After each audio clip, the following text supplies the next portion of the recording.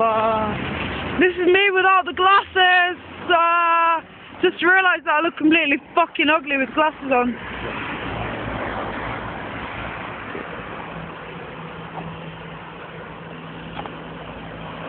Tried to make myself look beautiful.